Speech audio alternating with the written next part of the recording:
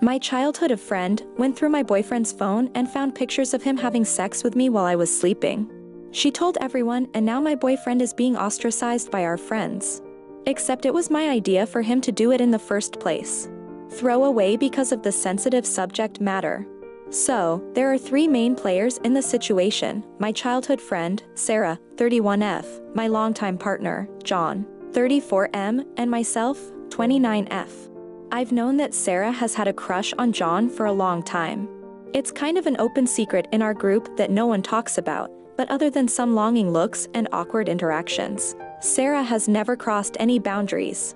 But because she does have this crush, she does stuff such as leaning over his shoulder to look at his phone screen and doing that playful shoulder slap that people do. My boyfriend and I had discussed it and decided, together, not to address it unless her crush became a problem since it seemed harmless. Apparently, when she was doing that recently, she caught a glimpse of what looked like a photo of him having sex with me, so later, she went back and went through his gallery, which is full of photos and videos of him having sex with me while I'm sleeping. She took photos with her phone and then went and told everybody, except me, that my boyfriend is assaulting me in my sleep. She apparently showed them her evidence as well. I found this out the next day when another friend messaged me, incredibly concerned. Now people are threatening to go to the cops, trying to stage interventions, and someone even told my dad I'm being abused. But here's the thing, it's my fetish in the first place, not his. He took the photos and videos for me. The day after our sessions, he sends them to me so I can watch them because it's better than porn. But nobody believes me. They're accusing me of protecting my boyfriend and covering for a rapist. I don't know what to do. I'm scared that someone is going to call the police on him. How do I fix my friendships and convince everybody that I'm the one who wanted it? There is no text communication to exonerate my boyfriend, but I do have pages of internet history from my phone full of limp porn and sleeping fetish fantasy literature. I'm tempted to pull up my internet history and air my dirty laundry to fix this. Please help. I'm so embarrassed, frustrated, and, honestly, really, really fucking mad. Edit, since this needs to be said, yes, my boyfriend does have a passcode on his phone. It's a four-digit code. Edit. Yes, I know she isn't my friend, which is why a friend is in quotes. I have three friends on my side with this, so it's not everybody. Just mostly everybody. I was upset and generalizing last night. I am in the US. My boyfriend does have a passcode on his phone. Seriously. Stop blaming him. This is definitely not his fault. Edit again since people just want to try to blame my boyfriend and me. We attended a barbecue where everybody left their phones inside.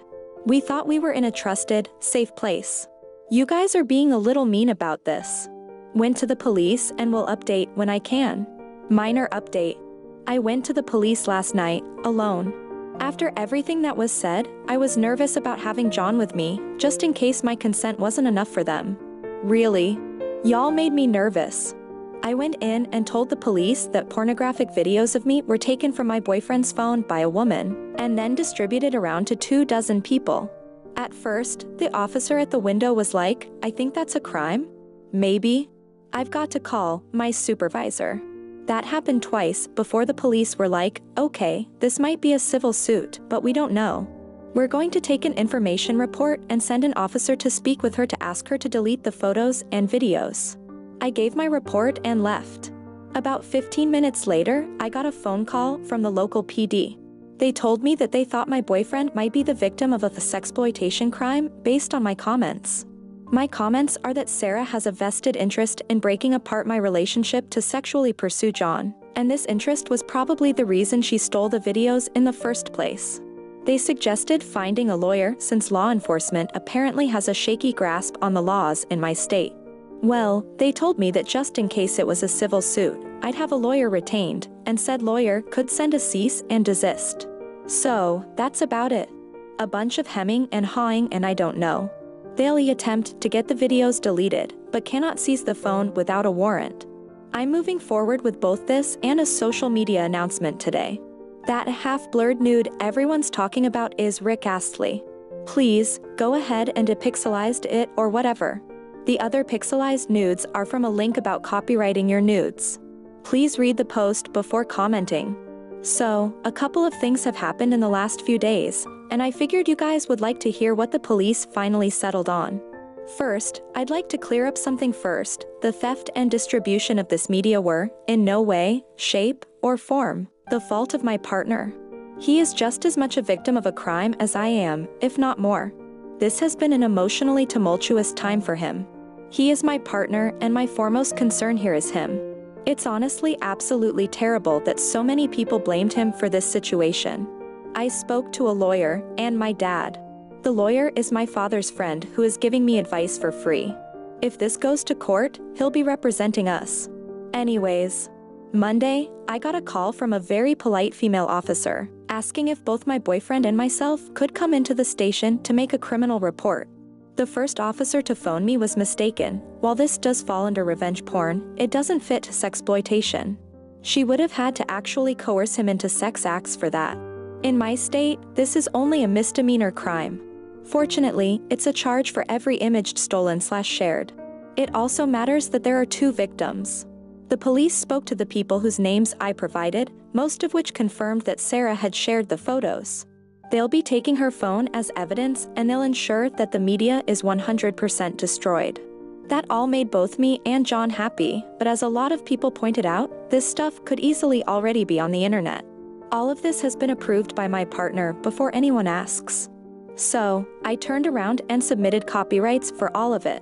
I spent a shit ton of money copyrighting over a hundred images and videos. Then I paid for a domain name and made a website, all it says is under construction. Then I registered John and myself on several different pornographic media hosting sites and posted content pending copyrights. Then, I posted on Facebook. Recently, someone I consider a friend broke into John's phone and stole images. She then proceeded to share these images with some of my closest friends. Not only am I disappointed, hurt, and betrayed, but this person placed John in a very disturbing position, one where he had to defend himself from sexual assault accusations. This person did not come to me with these concerns, deciding that she would rather gossip with others under the guise of a concern. Had I actually been assaulted, this person would have been spreading horrible moments of my life to others, taking away my voice as a victim, how horrific, how absolutely monstrous does a person have to be to do something like that? In actuality, this person stole intimate videos that were, in no way, intended for her. Stolen is the best word for this media because, well, most of you know me as an entrepreneur. I own a small business. I pick up freelance jobs. I dabble in several money making ventures.